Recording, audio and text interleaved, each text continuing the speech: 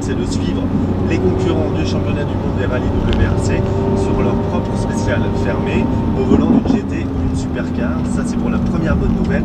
La deuxième bonne nouvelle, c'est que Lamborghini a accepté de nous prêter une Aventador Monster S pour suivre l'aventure de l'intérieur où son AV12 de 740 chevaux. Alors, c'est parti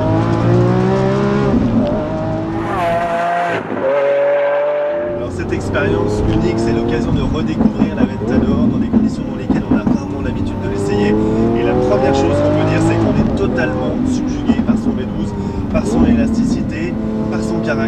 et aussi par sa sonorité.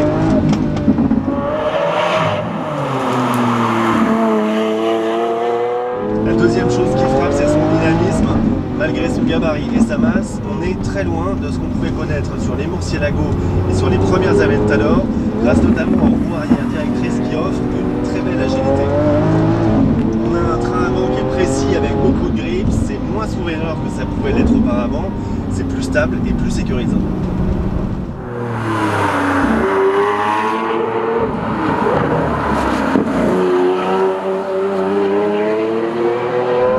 En motricité, c'est quasiment impossible à prendre en défaut malgré le couple grâce aux 4 roues motrices.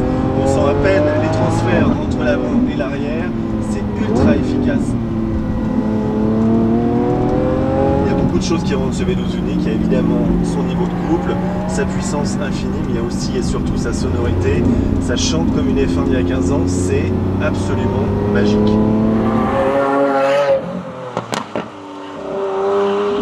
La troisième chose qu'on constate, c'est la qualité de son freinage et c'était pas gagné étant donné les conditions très spéciales de cet essai. Mais là, l'Aventador nous prouve que son système carbone céramique est capable d'offrir une bonne endurance. Ce qu'on va retenir de cette expérience unique et du Tour de France 10 000 virages, c'est le plaisir indescriptible que ça apporte, tant qu'il y aura de belles routes